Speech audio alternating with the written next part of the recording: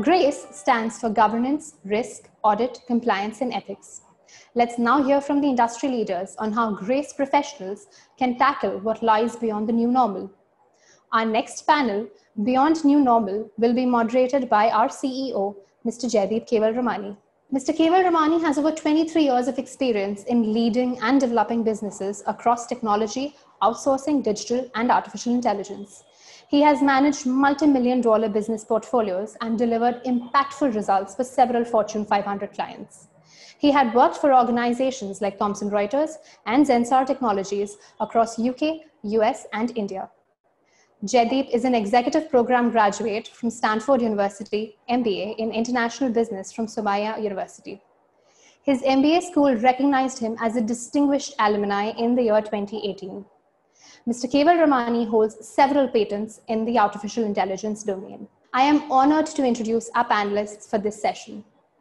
Our first panelist for this session is Ms. Manjaree Chowdhary, the Executive Director and General Counsel at Maruti Suzuki India Limited. Ms. Chowdhary is Maruti Suzuki's first woman general counsel and has contributed immensely in putting Suzuki on the legal 500 GC power list for the first time. She has prior experience of working with the leading law firms and as the general counsel of multinational conglomerate General Electric. She has been recognized by the Indian Corporate Counsel Association in its first edition of India's finest in-house counsels in 2016, was featured in the India Top 100 Powerful Women in Law in 2017, and was recognized by the Indo-UK Law Society for contribution to the Indian corporate legal sector and was most recently awarded the General Counsel of the Year Female Award at the Legal Era Annual Lawyer Awards in March 2020. Our second panelist for this session is Mr. Ghanshyam Hegde, the Senior Director and General Counsel, Indian Subcontinent, Procter & Gamble. Mr. Hegde is a lawyer and a qualified company secretary with a postgraduate degree in intellectual property laws. As General Counsel, Senior Director, Legal and Board Member of Procter & Gamble in the Indian subcontinent, Mr. Hegde is responsible for providing leadership in legal, compliance, board management, governance areas of Procter Gamble's operations in the Indian subcontinent and has worked with a wide range of businesses ranging from fertilizers, financials, media, and entertainment to pharmaceuticals. Our third panelist is Mr. Sanaulla Khan, Company Secretary, Wipro Limited. Mr. Khan has over 19 years of experience in legal, compliance, and company secretarial functions across sectors like manufacturing, IT, and financial services. In his capacity as the CS, he has advised the board on various corporate laws and corporate governance matters and has handled mergers and acquisitions and related due diligence. He has vast knowledge and experience of the SEBI guidelines, stock exchange, compliance, handling IPOs and other corporate actions of listed companies. Our next panelist is Mr. Siddharth Shetty, Managing Counsel of BP Castrol. Mr. Shetty leads the legal and corporate secretarial functions for Castrol India Limited and BP Upstream. He represents Castrol and BP companies in India on all legal issues and is part of the executive leadership team for both BP lubricants and upstream businesses in India and is responsible for developing and implementing legal strategy to identify and mitigate risks and ensuring adherence to policies and procedures. Over to you, Mr. Kewalramani, for the panel.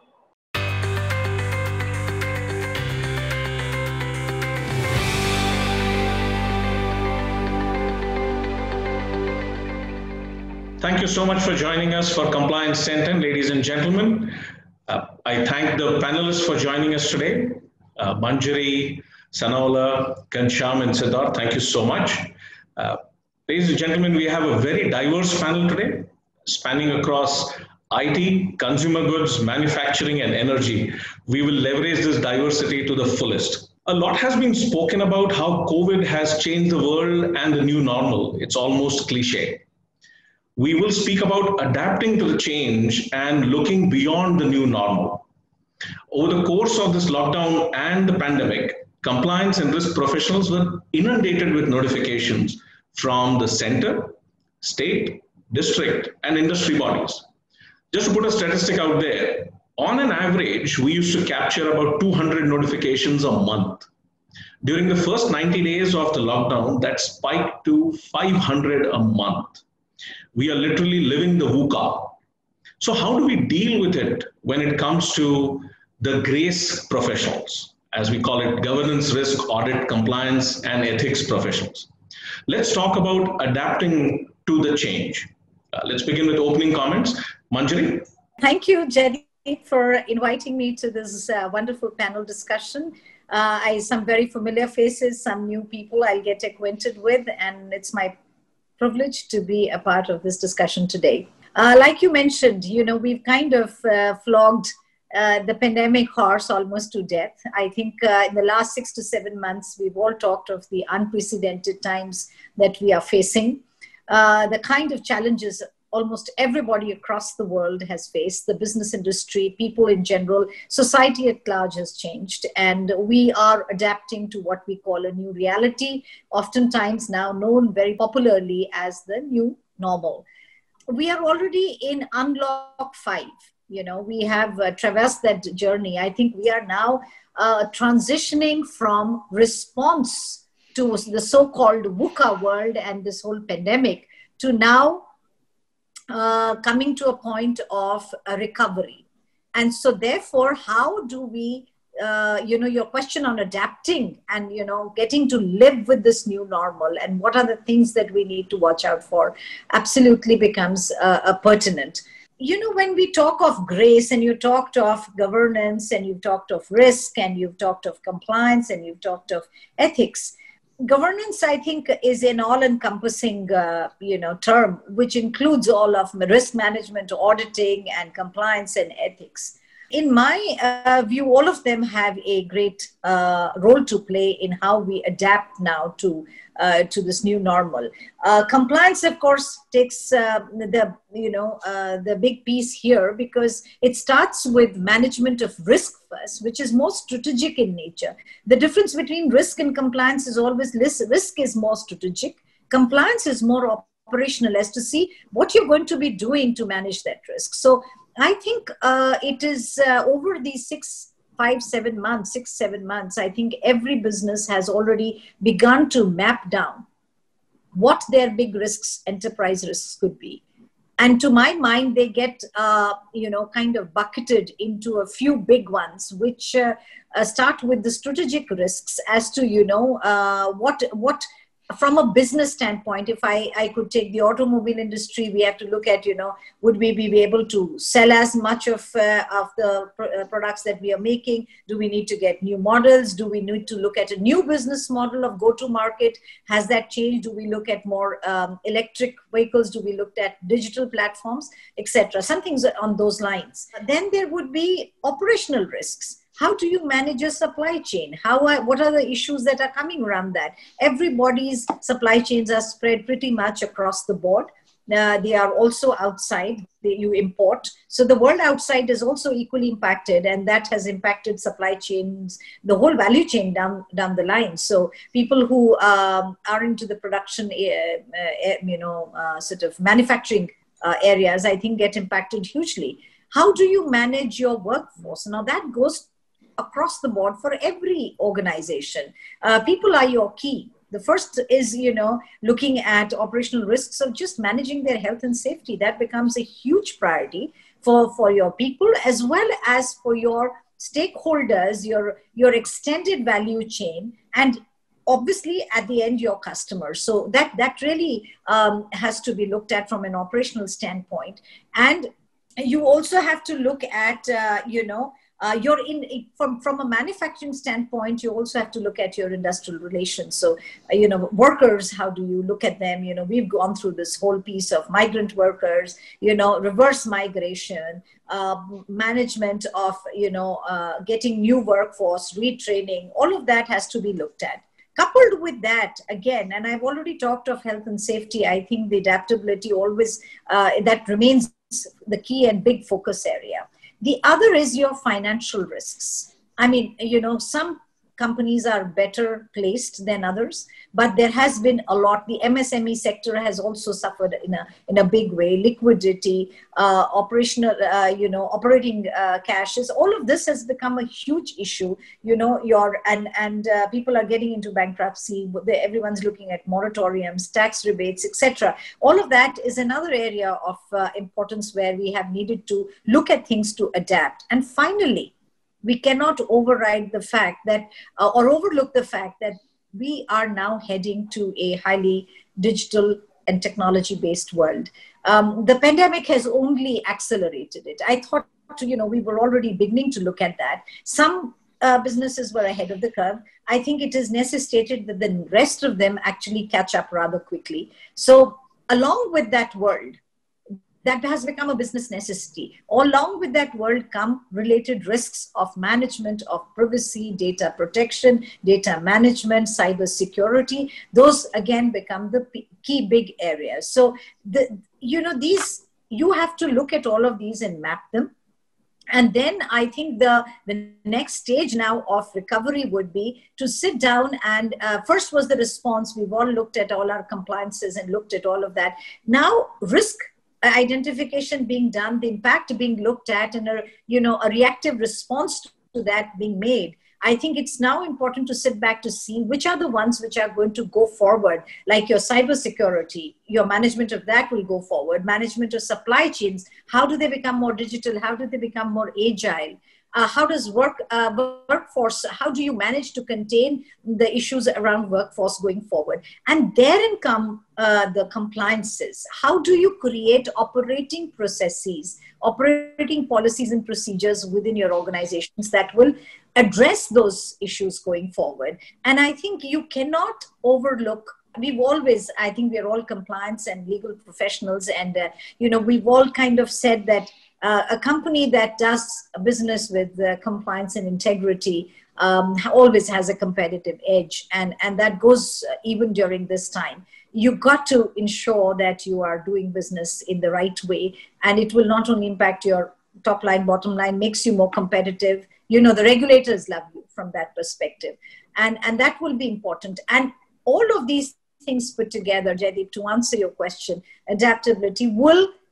result into good corporate governance around a, a subject which is of course uh, still evolving which is still uh, can throw up surprises. And uh, you know the, the future from a, a, a, economy standpoint is also not uh, very certain as of now. We don't know when this could end. But you know as much as we know as of now I, I see these are the big areas that we would need to address as we go forward.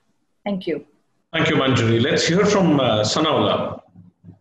Yeah, hi. Uh, hi, everyone. Good evening, good morning. I know in this virtual world, uh, it's that much uh, more reachable, and I know people would be joining from across the globe and uh, from different countries and geographies. Uh, so I'm happy to be here sharing a few thoughts with you. Uh, I thank Legasis and Jaideep to, you know, it's a privilege to give me an opportunity to, to join this August panel here. COVID-19, you know, we, we are now six months into it. So I'll try and avoid some of the things Manjaree has covered and see what best I can do uh, so that we'll avoid uh, repetition. So had this been, has this discussion been happening in April, probably it would have been very difficult for us to, to say what we are saying today. But six months into it, we kind of lived into it and uh, our initial, you know, surprise and uh, shock, etc., has sunk in now. And uh, we started responding to this pandemic. And uh, more than the health hazard and the, the pandemic, the disruption that has created, I think it's it's a lot of economic disruption that this pandemic has also created, in the sense that uh, you know. Uh, particularly in a country like India, where people earn their daily living uh, by working on a daily basis, and uh, uh, so we saw that migrant crisis and what has happened. So I think organizations, apart from uh, everything else in terms of how do they respond from a business point of view, they also uh, have recognized the social uh, impact of it, and particularly at Wipro. Uh, what we have seen is that uh, this large, uh, large, you know, grant that has gone from the company and also from Mr. Premji's foundation, which is an initiative which has been done, opened up for the community initiatives about 60,000 meals that uh, on a daily basis Wipro has supplied from its canteens, you know, which we closed uh, on the day one of lockdown when, when we closed our canteens. We tried and opened up uh, food chains uh, which will help the poor.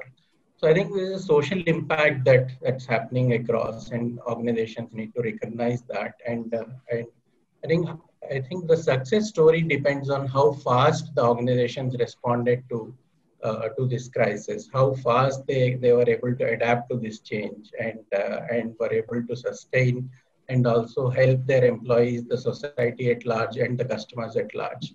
The only positive that I have seen uh, is that this pandemic coming in uh, the year 2020 rather than 20 years back, where technology has not taken off, where we have not heard of something like an IoT, or you know, there were not many tools and devices and techniques that were there uh, that were available at that point in time, which are available now. To give you a simple example, uh, I go down to my um, sabji wala uh, down, down uh, my apartment and I can pick up sabji without using swiping my credit card or without exchanging cash, which, which would have put me to a risk of you know getting that pandemic uh, uh, COVID-19. Uh, I can simply do a Paytm or a Google Pay. So that is that is how much advanced the technology today so I think it's important for organizations to adapt to this technological change, integrate this technology with your traditional systems and create that balancing act where you, you will, while maintaining your culture and your values, uh, and particularly from an ethics, compliance, risk point of view, at the same time, you adapt this technology, make sure that you cover your risks, and at the same time, make your processes in such a way that the business runs your clients are happy with you and how do you help your uh, employees in particularly in, a, in an organization like Wipro, uh, we have close to 2 lakh employees across the globe. And uh, when, when the lockdown was declared and we were not supposed to go back to the offices, we realized how many of uh, our employees are actually working on desktops. So the organization moved so fast that we were able to procure those laptops. We could make them, you know, available to the employees and make them work from home. So that work from home today is about 97%, but on day one, probably it was about 70, 80%. So I think that the speed at which we reacted and enabled the employees to, to create that atmosphere and work from home and uh, address to the customer's needs and then look at your customer, you know, they are into various buckets. We cater to the financial services, we uh, cater to the airlines, we cater to the, uh, you know, hospitality sector. So there are sectors where you know there's a lot of disruption. Uh, technology uh, was not even forget about technology survival. Survival itself was very very difficult. So airlines and hospitality sectors, we looked at our customers and we realized how we can help. You know, in in terms of because we know that once the recovery happens, these sectors will bounce back. So we, we will have to take that call and see how fast we can help our customers and proactively tell them to adapt that technology. So we also looked at how the businesses can remodel themselves because of this pandemic. How do we cut down our, costs, even including compliance cost? Where should we spend? How do we prioritize that spend? Because the kitty has become small, obviously, and you will have to make sure that you are compliant and complying to the regulatory uh, requirements. At the same time, your cost has has come down. So knowing your employees, knowing your customers, knowing your technology, knowing the con- competition in industry in which you have to operate, all these are very important. You will have to. It took that initial shock, and uh, you know, it took some time for companies to adapt to these change and adapt themselves and to understand what needs to be done. I think today we are in better position, uh, and we are also seeing most of the pandemic probably on the back of us, and uh, hopefully a vaccine comes and we look at something positive in the very very near time rather than a very long time. So of course there are uncertainties, but I think that's where we need to uh, kind of rise up, keep ourselves positive. All, all of us and some, and if not all of us, some of us lost some loved ones. So it happens. Uh, so there is an emotional, you know, uh, kind of uh, thing that has happened. So how can we take care of the mental health of employees? That's another important aspect Wipro looked at and focused how can we continuously communicate with our employees, make sure that uh, we give them that positivity. So all of the leaders at Wipro have been specifically told to engage more frequently with, the, with their teams to ensure that that continuous process of engagement is there. And another positive uh, step Wipro has also taken that they will not lay off the employees. There were salary cuts, etc. But you know, uh, uh, the layoffs didn't happen. So that also helped in terms of the keeping up the employee morale. So there are, there are a lot of learnings in this last six months and a lot of uh, you know adaptability and change that has happened. And uh, I think we are responding. Some of us responded well. Some of our some of the organizations could not respond well. Think the tone, tone at the top and the and how CEOs or the KMPs as well as the board reacted and responded and set that tone uh, to kind of uh, engage with employees, engage with society at large, engage with um, uh, customers. That has actually uh, is, has has helped uh, particularly Wipro and a lot of other organizations I'm sure would have done to kind of uh, you know address this pandemic. Like Warren Buffett has once said, only when tide goes out you will discover who's swimming naked. So this is the time to kind of understand and see where you are. How do you position yourself? How do you reposition yourself? I think that's that's how uh, I would like to say these opening remarks and uh, leave it to the rest of the panel. Thank you. Sanaulla, thank you so much. We will uh, talk a little bit more about how the profession is going to change, but uh, Legasis has a significant presence in Pune. And uh, let me take this opportunity to thank Wipro. I know you all dedicated one entire building in your Hinjawadi facility to convert to COVID hospital. Thank you so much for that. Let's move forward. Uh, Siddharth, uh, your opening comments, please. Well, thanks, Jaideep. Uh, thanks for having me here. Uh, uh, thanks to Legasis and it's good to be amongst you know panel members who are you know general counsels uh, large corporates and you know kind of to have this chat uh, with them share their experience and it's been great and hearing Manjaree and Sanaulla it, it's you know learning from their experiences is really fantastic to hear so i again I wouldn't go into the bits that uh, Manjaree and Sanaulla spoke of, and uh, in terms of the response and uh, thing. But I would, you know, kind of, it's probably a good segue to the next uh, part of your uh, uh, discussion, uh, uh in, in, in, terms of you spoke of the pandemic and, and the new normal. And the one th- one reflection that I have is, you know, taking a cue from Manjaree and Sanaulla is in in this pandemic and and the crisis, the one thing that you know just struck me is well, uh, as BP Castrol, we are we are you know kind of have pretty robust uh, systems in terms of compliances, uh, you know, uh, the governance mechanism and and uh, systems of control and you know the operating uh, management system and all of that, and various other you know kind of crisis management policies and, and and measures that we have. And incidentally, we are one of those organizations who you know kind of closed. A, a, probably a week or two before the rest of the organizations uh, shut down. I mean, uh, we, if I remember correctly, we declared, uh, you know, working from home on 13th March, which I remember was a Friday. Basically, from 16th March, we've been working from home. And um, well, there were apprehensions for people, you know, been used to working in offices and, and some of the workaholics who, uh, you know, didn't believe that the office would function without them being in office. Uh, it is a bit of a mindset shift. But, uh, you know, having gone through that, it, it's incredible that how our systems has backed us. And I, am really, I think the value of some of the systems that we have in place and the policies has really been testimony to how we have been able to, you know, kind of manage this entire uh, pandemic uh, with, I have to say, uh, not much of disruptions, uh, barring the obvious ones where some of the plants, you know, kind of we had to shut them down because, Uh, you know, there was no production for a few weeks. Uh, barring those disruptions, but the, uh, you know, kind of uh, interactions and, and uh, meetings have been, you know, kind of, and I mean, I'm sure the rest of the people on this panel will vouch for it that our working hours have indeed increased. And while the, you know, kind of uh, pandemic and working from home has robbed us of us of the physical interactions that we have with our colleagues, business partners, and and and uh, you know even counterparties.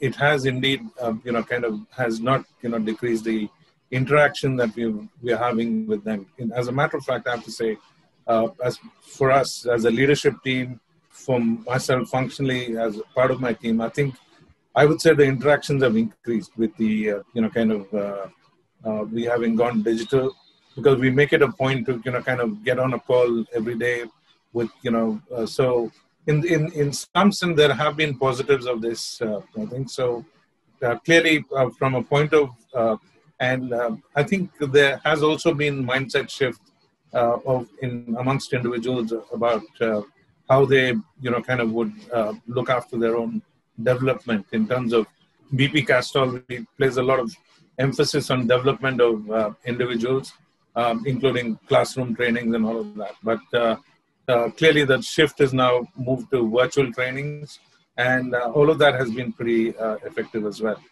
So, looking at it from uh, you know kind of the new normal perspective, with and and I have to say that we have I, I, spoke of crisis management. As, as crisis management uh, measures, we have uh, for individual businesses, uh, uh certain individual businesses, we have incident management teams, which are these uh, teams are constituted, you know, kind of comprising uh, members of the leadership team and, and few members in, in key operations.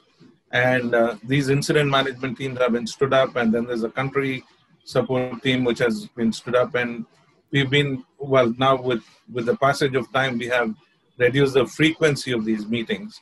But uh, we have you know all of these meetings have held us in good stead in you know kind of managing our resources effectively. And uh, and and also keeping the uh, business uh, going so we have we have a uh, you know kind of business continuity uh, team as well which you know kind of looks at what the potential disruptions are so in terms of business continuity, plan has helped us in you know kind of keep the businesses going and and uh, you know with with uh, little or uh, no disruptions in, in terms of the business. Uh, so I'm conscious of the uh, time, so I'll, I'll close here, uh, Jaideep, in terms of uh, the opening remarks that you spoke of. Thank you, Siddharth. We'll certainly come back and talk more about how BP is globally handled. Let's move to you you're last in the line, but uh, we do look forward to some insights from you. Sure. Uh, hi, everyone. Um, very, very happy to be here and uh, sharing thoughts with uh, uh, with all of you. Thanks for this opportunity, Jaideep. Um, building on uh, what you know, Manjaree, Sanaulla, Siddharth, and Jaideep you spoke about, I think for me as a as a as a compliance professional, as a lawyer, as a as a risk management guy, I think, you know, when I look back uh, last six months, for a couple of things, you know, or a few things come come very clearly, very starkly to my mind. When we talk about compliance and governance in today's context for large corporations, we are actually talking about going beyond compliance with law.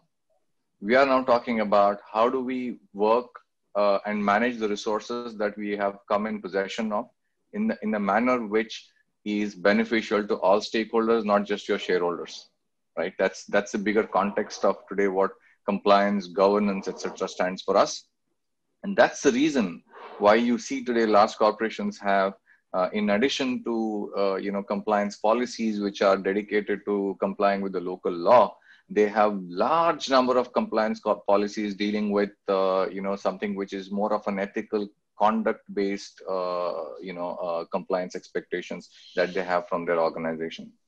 Now in this context what what to me the the the covid situation did is is actually to call upon the organization's responsibility towards everyone else other than their shareholders right this was an occasion when every corporation worth its salt and worth its reputation had to stand up and say hey listen you know I would I would now look at the well-being of my employees. I would look at well-being of my partners. I would look at well-being of the communities that where I operate, and and so on and so forth. And leaving aside the interest of the the, the shareholders and and purely the return on investment as uh, you know reason to exist. Right. Now, I think that's what this uh, uh, you know pandemic really brought to the fore, uh, and what followed was obviously uh, you know extremely uh, commendable manifestation from the large companies you know who are who are bestowed with a huge amount of resources um, with them to showcase how they would uh, then go on to partner for the next few months with uh, government communities employees you know partners so on and so forth to make sure that the disruptions in each of their lives as well as in the businesses that they run is minimal and, and, and controlled. The second thing to me, uh, which also you know quite stark when you, Jaideep, you talked about 500 odd uh, notifications coming every day. The pandemic actually threw a very clear you know uh, signal in the market.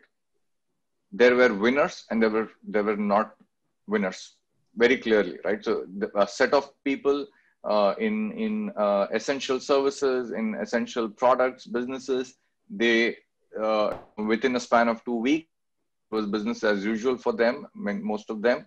While there were a large uh, number of others for whom it was a long, prolonged waiting period to restart their businesses, right?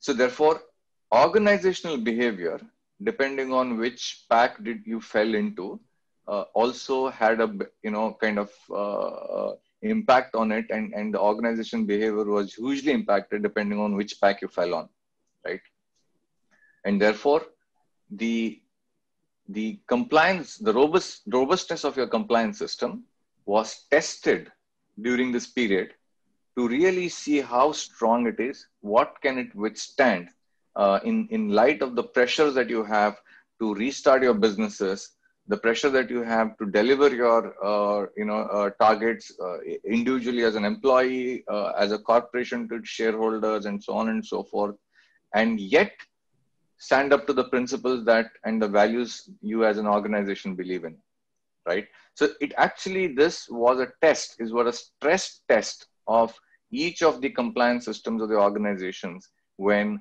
they were they were really called upon to showcase how deep you know did their compliance systems run and, and how strong were they, right? And again, what it also meant is as compliance professionals, how did one live up to the occasion to facilitate this compliance, uh, uh, you know, stress test to make sure that you know uh, you had help at hand for uh, for your organization to make sure you, you use technology to the best uh, of your abilities uh, make re-emphasized the principles and the values that you stand for. And therefore what is that is completely non-negotiable while we operate under the stressed you know uh, environment which followed several uh, months after the initial lockdown so to my mind uh, you know this was these were some of the key takeaways for me from uh, from from the pandemic when when it started uh, will will build on as we talk about uh, uh, you know more on this.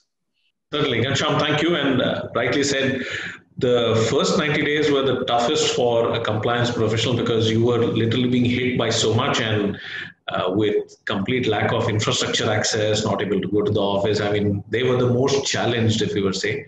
And uh, actually, if I'm not giving out too much, but later this evening, we are actually going to recognize uh, compliance professionals who kept the compliances going despite all the challenges. And uh, we have those uh, awards coming up. But let's come back to our conversation. Uh, let's shift gears, uh, move up a little. Now, let's talk about how do we deal with beyond the new normal. I mean, economists are trying to figure out what the rebound curve will look like. The numbers are as good as anyone's guess. Scientists are aggressively working on finding the vaccine let's focus on how the world will change for compliance and risk professionals. Towards the mid of the pandemic, the US Department of Justice issued updated guidelines on how compliance programs should be designed. At Legasis, we spoke a lot about that and continue to work with our clients who have a global footprint. But I think the guidance actually defines how the governance, risk, and compliance function should be well funded, well resourced, and should have continuous access to data. It usually takes a big event like this for the legal profession to kind of sit up and rethink about how things are done. We saw this during the Y2K bust. the 2008 subprime crisis, and now. A lot is being spoken about high tech like IoT, artificial intelligence entering the legal space, digitization of compliances, risk management, virtual audits, increased vulnerability assessments, risk based approach to compliances, or even monitoring third party compliances. Can you share some practical guidance on how the governance, risk, and compliance professional can adapt to these new demands? Let's start with you, Ghanshyam, and then we'll move uh, back to Manjaree. I think the principles remain same, right? Um, it, of course, our our environment has changed, the way we operate has changed. Um, we are we have been operating out of homes. We would probably start uh, crawling into the offices that, uh, you know over the next next few months. But the reality is, the fundas of the basics will remain same right? We we need to lay a set of principles uh, that as a company we operate on which is uh, uh, you know which which which is which is the rules of the game uh, you know in, in, to be put in simple terms. That is that is not going to change. In my view you know everything else around it will change which is about enabling things you know, how do you enable a better compliance system? What do you, what communication tools that you will use? You would have probably used uh, your town halls and your emails uh, as and and uh, you know different IECs in the past to traditional IECs in the past to communicate and reinforce uh, your com uh, your compliance systems and and and uh, you know that's going to change. You will use different mediums. It could be video conferencing medium. It could be a medium of Teams. I'm you, you will explore technology to make sure that you shift some of these tasks to a more um, efficient and effective task, keeping in mind the change circumstances with respect to your organization, right? I think the second piece, uh, which any compliance system also needs to have is monitoring, right? Monitoring of, of your uh, compliance system and, and, and its effectiveness. I think this is an area where there'll be a lot of interventions that will take place uh, simply because you know you're you're now monitoring a virtual organization as against monitoring a, a more of a physical or, or a semi-physical organization, right? So I think the monitoring space is where uh, you will have a lot of new technologies being adopted by uh, the organizations. Uh, for example, uh, an internal investigation and today, an internal investigation comprises of, uh, uh, you know, as a face-to-face face interview uh, with by the investigator with with with the you know subject. Things will change around this. Things will change around how do you how do you uh, document these uh, investigations? How do you keep a record of these uh, virtual investigations? How do you uh, Uh, perhaps now scanning uh, of uh, uh you know uh, the devices will become a norm because you, you you would perhaps not have physical physical documents to track. So i think the monitoring and part, part of it the enforcement part of the compliance system is the one which will see more of technology adoption is, is another change that i see. But but uh, in in the overall i think uh, even in in Manjaree talked about privacy uh, data protection uh, some of these will will see to become priorities now uh, for example, large organizations have already been doing their info security audit, audits, right? They've already been been preparing themselves for the eventual introduction of data protection uh, or, or, the or the formal data protection or the or the enlarged data protection law in this country, right? So it's it's already been happening. We've already been doing those reviews in large companies, but I think now focus will also shift to these areas of compliance. And th that's another set of changes that I see. And I would, I would also see that uh, uh, the compliance professionals as such uh, start recognizing some of the new risks which the uh, remote working will introduce into the into the system uh, in relation to the compliance which which is which is not uh, the case today. These are some of the things that i have on top of my mind. Thank you.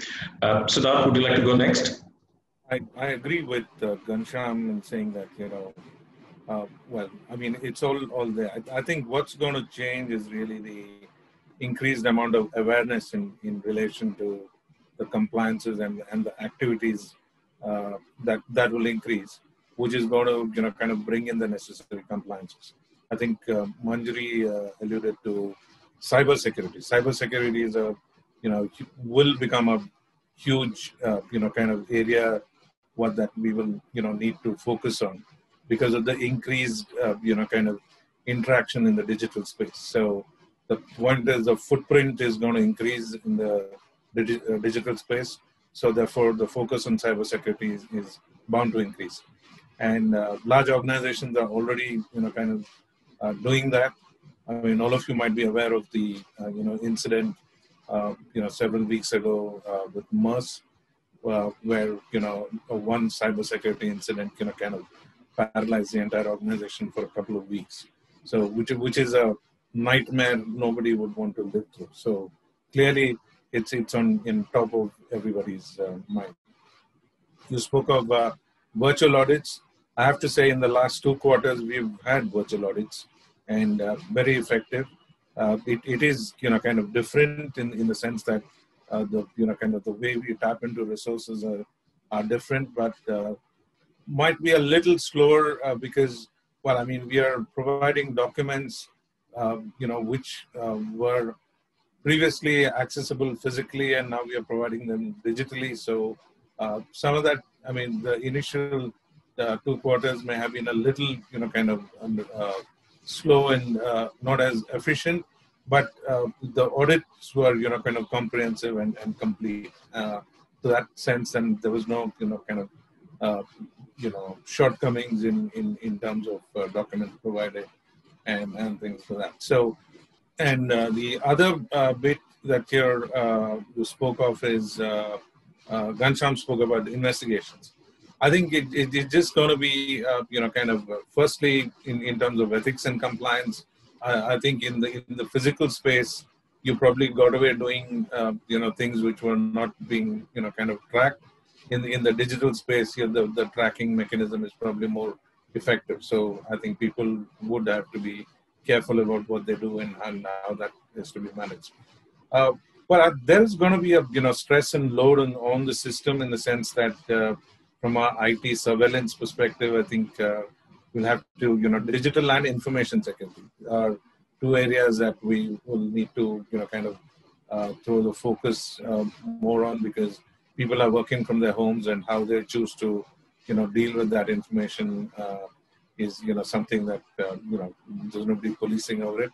Not that, uh, you know, one does that in, in, you know, you know, office environment, but the point is, I think there is a sense of, uh, you know, kind of decorum and, and, and uh, people are aware that, you know, there are, you know, kind of surveillance mechanisms that are tracking that. Uh, so I think there are just going to be newer areas that we will need to focus more on. But as far as uh, the uh, subject matter of the discussion today, which you know the goes by the acronym of GRACE, I think all of that will you know kind of will only be enhanced, and I think will you know will be uh, you know kind of effectively be enhanced uh, going forward. Thank you, Siddharth. Um, Sanaulla, we know you are uh, one of the flag bearers of the IT industry, but without uh, sounding too tech, can we talk about what's going to change the the grace space, the governance, risk, compliance, audit, and ethics space uh, when it comes to technology? I'll come to technology, but let me start with uh, grace. So start with the governance, the first uh, you know word. So how often have the boards uh, you know discussed and met uh, during this pandemic in terms of those additional risks and those additional compliances and those additional challenges that organizations are facing. I think the first question from a governance standpoint is that how often the audit committee has looked at your cybersecurity risk and your uh, other uh, forms of risk. As your internal auditor changed, uh, you know, his audit schedule and uh, in view of this pandemic and looked at those additional areas or the new areas, uh, what that he needs to cover. And from a compliance standpoint, more importantly, uh, is your compliance program adequate and enough? And will it address the new risks and the new compliance challenges? Will it address the new, uh, you know, regulations the regulators are throwing in view of the uh, current crisis? Be it additional disclosures to your stakeholders, be it additional uh, uh, information uh, sharing or frequency of information sharing that, that, that needs to be done, how the business will get impacted and uh, positively, negatively, and uh, in terms of uh, your other stakeholders, what are those additional risks that uh, the board has identified or the audit committee has identified or the risk committee has identified and uh, how you will mitigate those risks. Organizations need to report these threats, risks and concerns. I think the most important thing is, is to kind of realign this whole framework of GRACE uh, from a governance standpoint, from a risk standpoint, from an assurance standpoint, and also from a compliance standpoint. Now, whether we will be able to identify all the risks, I don't think so. It will be, but at least you will try and do a heat map kind of a thing and identify those high risk items, how you will address those high risk items. I think that is very important. So uh, at least, if not immediately in the pandemic, uh, you know, within certain time of time frame, particularly the listed entities need to identify these challenges and see that they are taking adequate uh, steps to make sure that uh, they are addressing these risks. Manjaree has spoken about uh, you know the cybersecurity. I would like to say a few words on that. I think that's the biggest challenge today because most of us are working from home and uh, our environments and our networks are very fragile. They are not as secure as what we operate from the offices. Uh, the firewalls that you need additionally and uh, uh, the multi-factor authentication that would be required you know that those are some of the technical challenges organizations are facing particularly the financial services organizations whom uh, the tech giants like uh, a TCS, Wipro, or Infosys is catering to. Uh, they need, they understand these challenges. They are the service providers for these large multinational banks, etc. And uh, when the employees have started working from home, you know, this is the biggest challenge uh, uh we from an IT sector as well as the financial services sector have identified.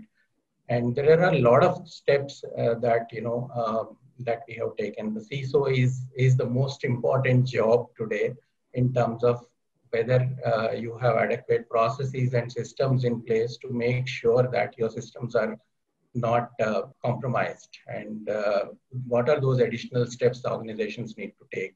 It differs from uh, organization to organization sector to sector as well as from um, uh, size of the organization. So there's no one size fits all kind of a situation that we are in. But organization depending upon its sector size and industry it is in it will have to uh, relook at these and make sure that uh, they are adequately protected, the customers are adequately protected.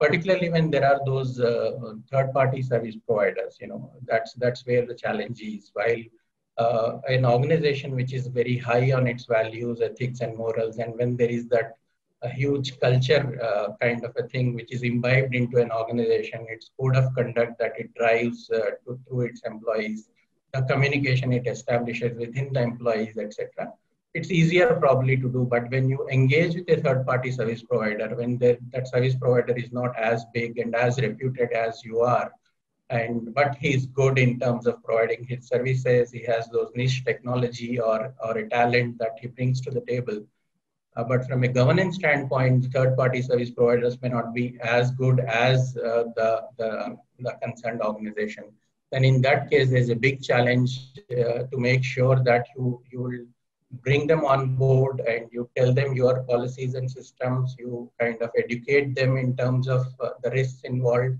And so that is the biggest challenge that organizations are facing from a uh, from a risk standpoint. So in terms of if you really have to kind of boost up your compliance program what is that you need to do? So you need to look at your compliance design your program whether it is fluid enough is it flexible enough and make sure that you bring in these new risks and uh, whatever tool you are using to track your compliances across the globe, particularly if you're a global company, if you're operating in the US and if you're listed on the US stock exchanges, the risks are those high. The class action suits that we have been seeing uh, from the uh, from these geographies, they bring in a lot of risk to the organizations which are listed in the US. So you will have to make sure that you are quickly adapting to this change. You are redesigning your compliance program. You bring in that tool. You make sure that your service providers are adequately covered. And if there is a regulatory relief, you know, there are so, so many reliefs we have seen. You know, we uh, this year, uh, first for the first time in my about 25 years of career, I have conducted a virtual annual general meeting of shareholders.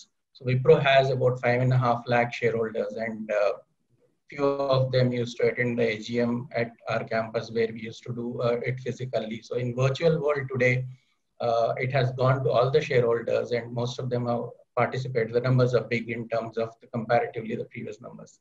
So these these are some of the reliefs that uh, you know we got from MCA. We got some reliefs from SEBI. So these are welcome measures, and uh, we need to quickly adapt to these changes and make sure that we are uh, using these uh, you know reliefs that have come from the regulators you'll have to update your policies and procedures and you'll have to look at your past policies. And if in today's world of work from home you need to relook at your leave policies. So in wipro we said we will ask the employees to take the leave because from work from home environment we have seen that uh, 24 by 7 people are responding on emails you're getting calls. So we have tried and you know uh, put a policy in place that you these are your working hours you don't need to respond beyond these hours.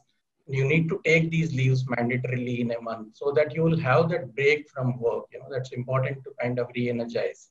So i think we will have to relook at our employee policies in particular and make sure that we are adapting to this new world.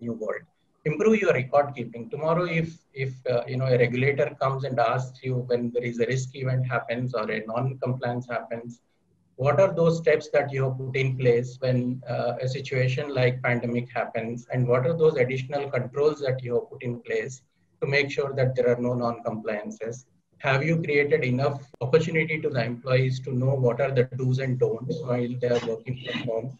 So they will look at all of these. So and like dhoni says you know what is that process that you have put in place to uh, whether you will you will finally win or lose you may not be able to address all the regulatory requirement, but if, as long as you have a process in place, a documented you know, uh, process in place and policies are in place, it's easier for you to convince the regulator also that you made an effort and you put in the process in place, still the event has happened.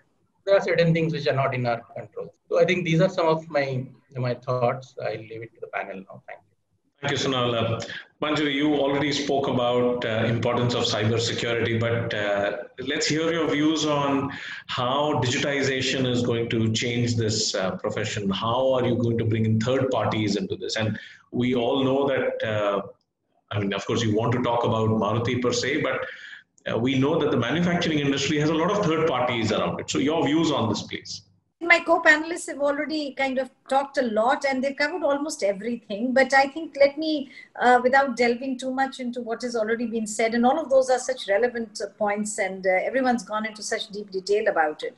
Um, to come to your you know specific point on digitization i personally think that digitization was something that uh, had already the process had, process had already started a couple of years ago. Uh, everyone was beginning to look at it. I, I came from General Electric, where you know some of the things that we were looking at now here as are things which had we, we'd already kind of started implementing a long time ago there. So. Um, like I said, there were some companies or some enterprises who were, you know, uh, you know, ahead of the curve. Some of them were just about there, and there were some others who thought they could get away without you know doing any of this you know? So there were those three categories. So what the pandemic seems to have done now is that the people who are ahead of the curve will continue to do the same things. They probably improvise and do things in a little more different way to to address the challenges of uh, uh, the, the what are being thrown up. But the ones who were just about there, I think their process has accelerated very quickly. And I think everyone is looking around. And like Sanaulla said, that, um, you know, uh, they also looked in Wipro and they realized that a lot of people were still working on desktops. And then they had to get them, uh, you know, I uh, laptops very quickly. Something similar happened to us in, in, in Maruti as well. I mean, you know, there was a, workforce that was still on desktop because nothing necessitated them to do it otherwise. So there was a new situation. And then the idea is not whether you were doing that stuff on a, a, desktop, whether you're doing it on an iPad. The, I, the idea is how quickly and how fast and how well you have adapted to the change. And that process, that shift has to be good and uh, has to ensure productivity, efficiency, and compliance. From that perspective, I feel from, from a legal standpoint, I think, uh, and uh, you know, in the in the context of grace that we are talking about here, um, the legal professionals uh, will have to learn or to work, uh, uh, you know, uh, virtually.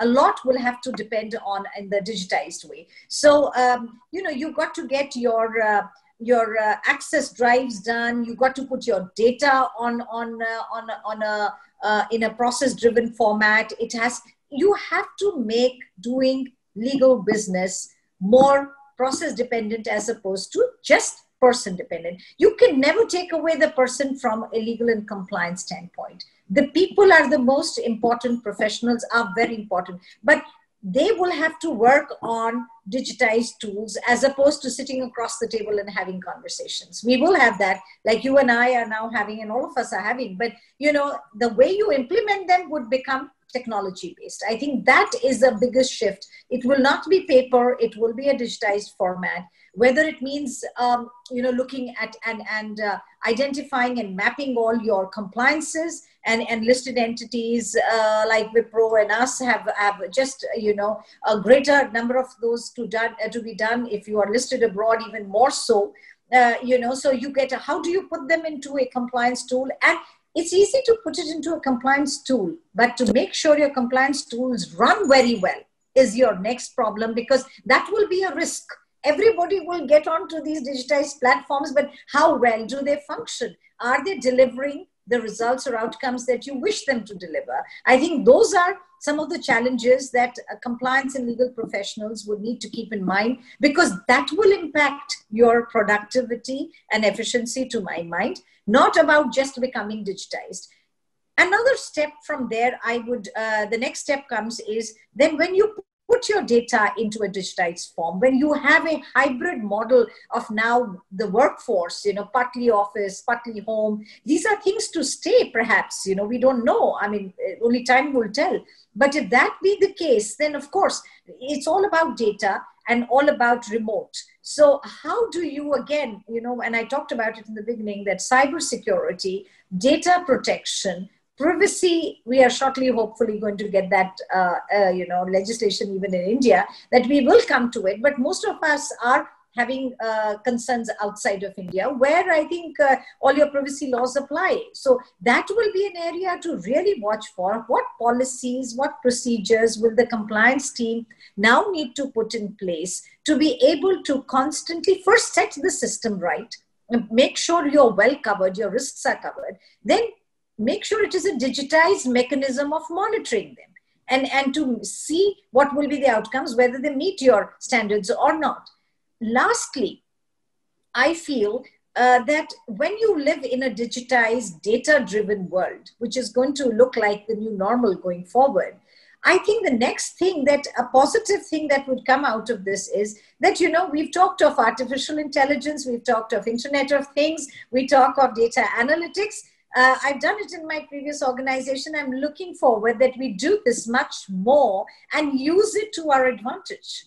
You know, I mean, I in, in Maruti, we've recently put all our, uh, you know, the code of ethics. Uh, we, we, we kind of did virtual, uh, first face-to-face training, classroom trainings for over all our employees, across all our, you know, white-collared employees. But putting it into a e-module form. Now we are getting people to be getting used to doing it on a digitized way. Then you look at that data you you do surveys you do uh, you manage the data you analyze that data to see where are gaps what is going well what is not going well where is it that you what you can do to augment those systems a little better where you can manage your compliances a little better. I think those will become key tools uh, which will be very important not only for compliance professionals but would be extremely important for top management and the boards when they look at enterprise risk uh, on a totality. And and and you know vis-a-vis the compliance uh, policies and procedures that they have already in place. So you know from to Jaideep to your question i think these are my my thoughts around how digitization will play out Thank you so much, uh, Manjaree. And I think uh, this has been a very, very powerful, high-paced conversation. I'm afraid we are approaching top of the hour. We will have to defer the Q&A to the speakers lounge, but uh, let's move forward uh, and try and this. Uh, the last six months has been a unique experience. I'd like you to please share uh, one unique experience that you've had and also wrap with your closing comments and then we can move on. If I may request Manjaree to go first, please. And my biggest um, uh, takeaway from this has been we were all asked to work from home. 22nd of March, uh, and we thought it's going to be for a day or two. And then suddenly you realize that, hey, this is going to be for a little longer. We all hoped it'll be for the next fortnight and we'll be done with it. But then the fortnight kept extending into months and there was no ending it. And then, and with that, with the lockdown came a complete banning of, of all house help. So when you came to work from home, it also meant working for home. So the, the for and from kind of, you know, diffused in some, eh, in, in one way. So it was a huge challenge trying to keep up a, you know, whole-time job and then trying to manage a home and a house and, and that had its own complexities right? And uh, of course it tended to make you i, I do think uh, one became a little fitter and you it made you feel very self-reliant of course. But um, uh, after after a while it tends to the fatigue sets, sets in i think and and that also is is a, is a is a big challenge uh, from that perspective. So i i think uh, uh, gradually you adapt. What uh, the my takeaways have been from the pandemic is that you've learned to be self-reliant you've learned to live with less and you learned that what you initially thought was impossible is very easily doable and you know when when we have come to those conclusions you know as a person in your personal life in your everyday working as also in your professional life as well as in larger corporate perspectives i think these are the things that are going to um, direct or guide people that look you know uh, whatever we imagined is not uh, always the case. So, you know, sometimes things change and they force you to think to a different uh, way of looking at things, which which you initially may have thought may never work but today it is it's it's a reality. It's working.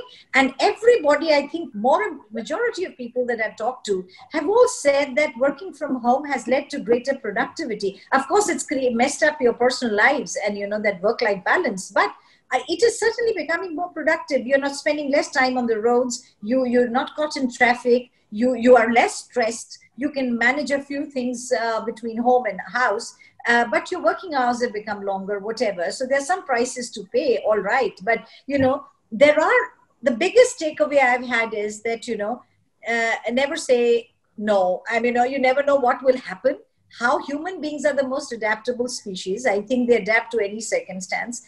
And obviously comes with that adaptability at both personal, professional, and corporate level. Thank you. Uh, let's keep the queue. Siddharth, you want to go next?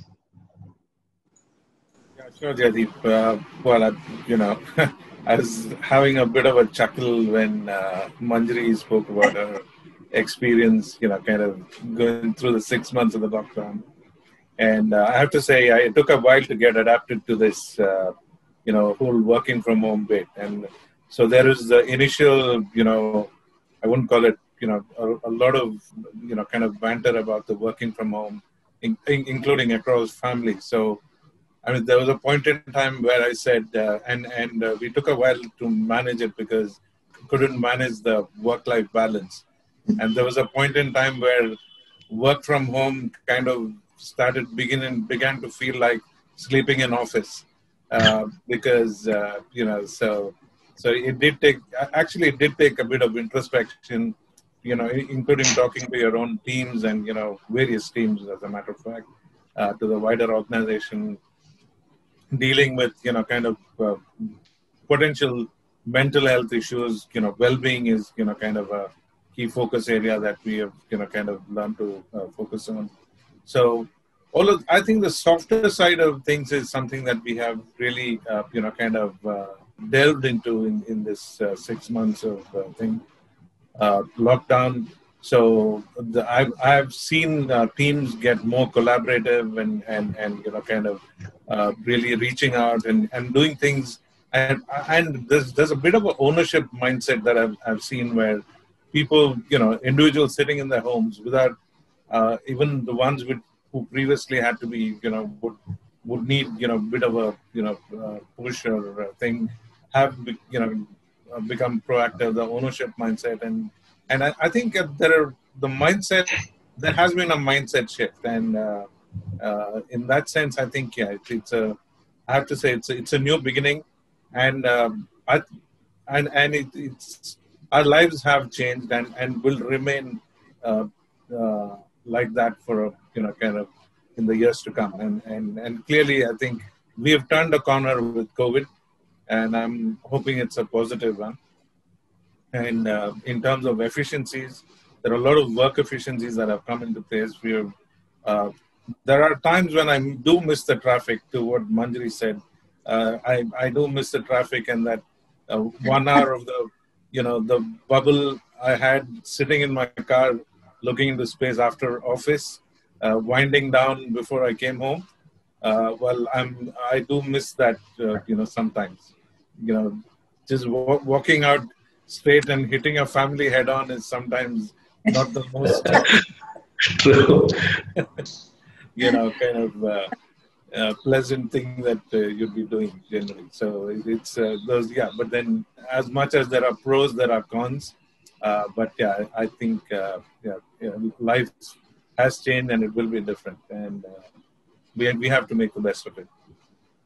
Thank you, Siddharth. Sanaulla, would you like to go next, please? Yeah, I think there are a, the entire experience in the last six months is unique, so it's difficult to kind of point out which one is the most unique. Like this experience of talking uh, without audience uh, into a camera is first time. I've, I have always spoken, uh, you know, from a stage in front of audience and taken questions, and this itself is a very unique experience. I'm talking to my co-panelists, looking into my laptop, so it's, it itself is a unique experience. Of course, there are a few others like virtual board meetings, shareholders meetings, and uh, online filings with the stock exchanges, and so it's a whole lot of stuff. And uh, of course, on a softer note, like the, I think we need to understand that life is, is nothing is constant and it changes. So even this pandemic will go away hopefully and we look forward to uh, more positive times and uh, more old times like where you can share a laugh with your colleagues. And uh, of course you're doing it virtually like now i'm doing it with Jaideep but uh, it, it's more of more fun to you know sit in your cafeteria and uh, share a co- cup of coffee uh, with a colleague and have a laugh you know. That's that's the thing that we are li- missing in life. And hopefully will come more stronger and uh, more positive, uh, you know, uh, in the times to come. So that's that's uh, my closing statement. I would also like to say, uh, from a regulatory standpoint, I think it's time. Uh, I think there are too many laws and too many compliances. I think it's time to kind of. I would request Jaideep to organize a session on that in terms of are we having too many laws and too many regulations to comply with, too many regulate disclosures to make. Like if you look at a company his annual report today it crosses some 300 pages. Who has the time? And if you are a shareholder in 20 companies how many annual reports you will read? So i think it's it's time to kind of look at relook at some of our uh, you know compliances some of our regulations and some of our disclosures uh, and and kind of uh, reposition ourselves which we, with a more meaningful sort of a regulatory environment which is not burdensome which is not which is more cost effective particularly from a small to medium sort of an enterprise. So I think regulators need to uh, relook at some of these things in the in the time to come. I promise we'll circle back on that one. Uh, closing comments and uh, your experience, please. So I think uh, on a lighter note, uh, unique experiences have been to be part of meetings and uh, you know work, meeting your workout goals at the same time, and you know some of these things, uh, and me and sometimes doing some household chores as well uh, while you know you are uh, being part of a meeting and a discussion. Um, but on a more serious note, I think um, you know going forward and all through this this journey of lockdown one of the priorities that for me personally has been how do we stay uh, together as a team? How do we make sure that the connect that we have with with our team? And how do we make sure that uh, we don't lose out on that? And how do we ensure the advantages that a human connect brings to the fore is not lost uh, while we are uh, you know all working uh, and connecting technologically has been one of the priority areas for me um, you know, for example, I I I have one hour, uh, you know, every week uh, as a as a team connect where we we we don't talk work. Um, we we just uh, catch up uh, we talk about what anybody is watching on OTT platforms to reviews to uh, you know politics. It could be anything, right? These are these are in addition to the one-on-ones you uh, have with with the team to make sure that there is enough connect that uh, you know you keep going and make sure that we don't lose out on on the human part of it. And I also try and make sure that I always have my video on uh, you know in, in every interaction uh, and, and i encourage uh, you know everyone to do that uh, so long as they can they can do it uh, simply to make sure that we don't lose out on the human touch that we have built and nurtured uh, for, for, all along to have such a you know the, to bring bring the teams together and and you know build this kind of a synergy. So i think the opportunity areas to my mind are how do we you know um, as as we go towards unlock unlocking how do we balance the safety at the same time also uh, uh, you know bringing back employees into the organization while while doing that? Uh, how do we uh, protect and uh, preserve the human connect uh, until we really you know end up coming into the office and working and of course all the panelists talked about how the priorities in terms of the governance compliance uh, uh, is going to change and, and keeping keeping that ball in sight all the time uh, is is what I think are, are what would be priorities for the next few months for all of us. Certainly, thank you. I think this was a very, very powerful conversation, like I said before. Uh, I wonder with this heightened level of ownership and productivity that has gone up for work from home, I think once we come back to office, we'll see a downward trend. So that will be another paradigm to deal with. But in terms of key takeaways, I think uh, four things that I can summarize. One is that the speed of response is essential and that is here to stay. You just can't slow down. I mean, that has to be there. Second, organizations have really stepped up and looked beyond the investor community uh, looking at your other stakeholders in an equal and more emphasis uh, fashion. I mean, that's been a remarkable response. Uh, digital automation, IoT, artificial intelligence is all here to stay and it will only accelerate. It's not going to slow down. Finally, I think the most important takeaway is that the chief compliance officer has become a key management personal de facto. Whether you say it or not in large organizations while there is no double hatting but i think this is becoming a key management personal role. We've got a lot of stuff coming up. Uh, there's an exciting lineup of uh, panelists and speakers. Stay tuned. Thank you so much uh, dear panelists. Back to you risha and ryan. Have a great evening. Thank you. Thank you. Bye-bye. Thank, thank you so much. Bye-bye. Bye-bye